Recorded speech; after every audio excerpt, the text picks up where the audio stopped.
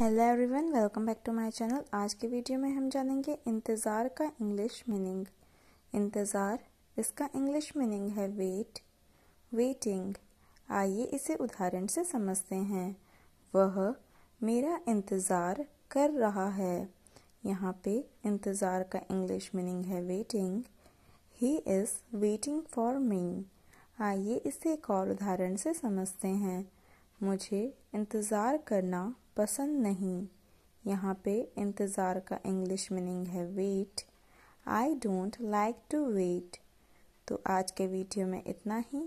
Thank you so much for watching my video